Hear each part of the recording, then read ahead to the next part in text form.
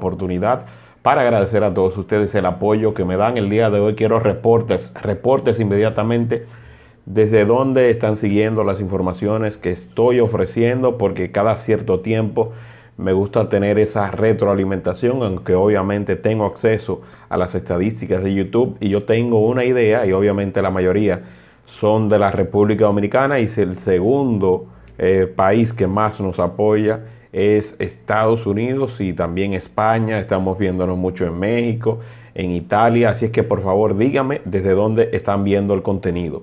Rápidamente el día de hoy es noticia lo que dijo el señor diputado eh, Manuel Díaz. Si ustedes se fijan, difícilmente se hayan podido escapar a toda esta vorágine que se ha dado con relación a las expresiones que él emitió el día de hoy cuando fue consultado por periodistas que querían saber su parecer sobre la posible reelección de Danilo Medina y lo que harían tanto los senadores como los diputados para modificar la constitución y permitir que él vuelva, un abuso total, eh, que él vuelva y que tenga esa oportunidad de reelegirse.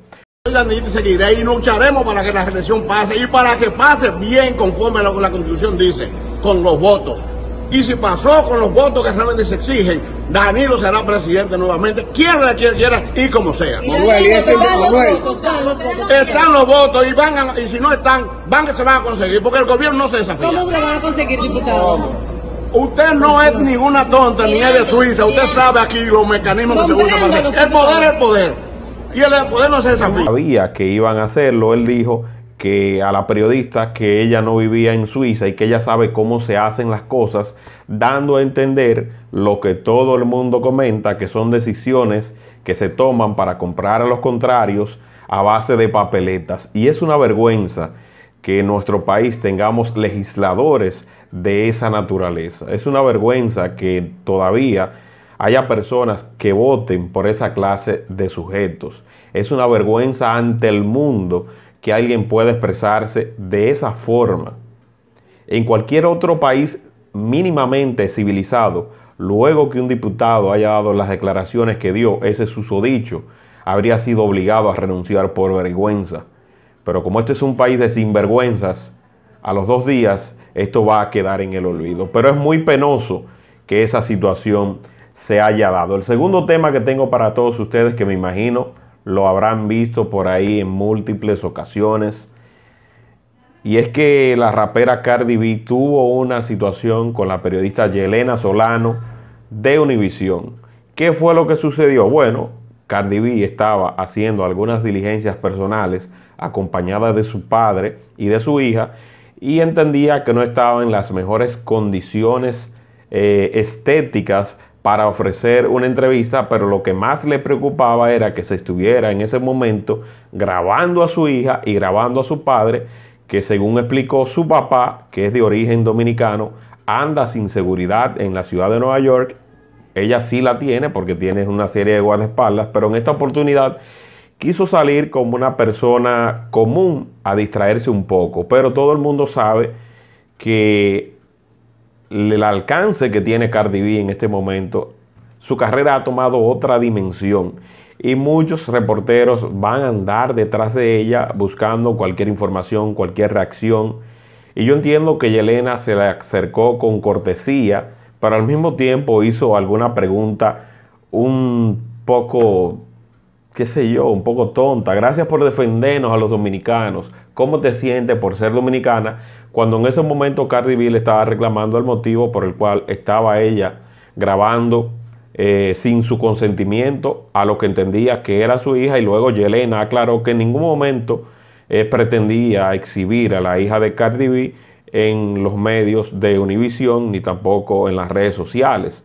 Yo entiendo que también eso es algo que se sobreentiende porque aquí la protagonista de toda esta historia es Cardi B. A Cardi B en este momento, en este instante, no le conviene llevar conflictos, porque precisamente en la ciudad de Nueva York se está tratando un caso donde a ella se le imputan unos 14 cargos, que de ser hallada culpable pudiera entrar eh, Cardi B en lo que es eh, una medida que no la va a llevar a prisión, pero sí estaría privada de algunas libertades que le impedirían poder desarrollar su carrera y hacer algunas presentaciones más allá de la ciudad de Nueva York. Estamos hablando de una libertad condicional. Yo como periodista he tenido la oportunidad de estar frente a muchas personalidades, quizás en momentos donde ellos están compartiendo en un ambiente de intimidad. Y he conseguido que muchos de ellos me den declaraciones, pero siempre lo hago de una manera práctica, de una manera sencilla. Usted lo aborda sin cámaras, usted lo aborda tranquilo y usted le pregunta en ese momento, mira, quiero hacer observando que está compartiendo en un ambiente íntimo, fuera de lo que es su ambiente habitual. Lógicamente, si ese famoso desea, posiblemente le conceda a usted la conversación. Pero hay veces que los famosos se ven tan asediados por los periodistas que cuando ven que algo se acerca, lo que quieren es escapar. El periodista sí quiere hacer su trabajo y yo siempre voy a apoyar a todos los periodistas que quieren hacer su trabajo porque están buscando la información que usted y yo y que todos en algún momento dado queremos, que buscamos. Y ella no lo hizo de mala manera. Lo que pasa es que a veces hay que hacerlo de una manera más discreta, de una manera más sencilla. Y probablemente si ella lo hacía de esa forma, Yelena Solano, Solano habría conseguido algo más de Cardi B que un conflicto. Pero Cardi B hábilmente, luego que se dio cuenta de que no manejó quizás de una manera adecuada a dicha situación, terminó pidiéndole perdón a Yelena Solano que trabaja en El Gordo y la Flaca y terminó reflexionando sobre ese aspecto. Quizás, y eso es algo ya que yo presumo, obedece a que sus abogados le están diciendo, mira, ya que estamos en la corte y tenemos un caso en curso, no, no es bueno que haya otro escándalo, porque eso te puede afectar la imagen con el juez y de alguna u otra forma te pueda perjudicar. Y eso es lo que yo entiendo que ella hizo y estoy de acuerdo con el respeto a la intimidad. Hay cosas que uno tiene que ser cuidadoso cuando se trata de hijos, cuando se trata de padres, como ella misma expresó, pero también los artistas deben estar conscientes de que uno simplemente quiere eh, hacer su trabajo, aunque esas preguntas que hizo Yelena Solano, que vuelvo y explico cuáles fueron sus palabras, gracias por defendernos a los dominicanos. ¿Cómo te sientes de ser dominicana? Yo también soy dominicana como tú, por Dios. Come on. Vamos a hacer preguntas inteligentes. Otra información que tengo para todos ustedes y con esta voy a cerrar por esta noche es que está al rojo vivo la situación entre Jaime Bailey y el promotor dominicano Georgie Nader.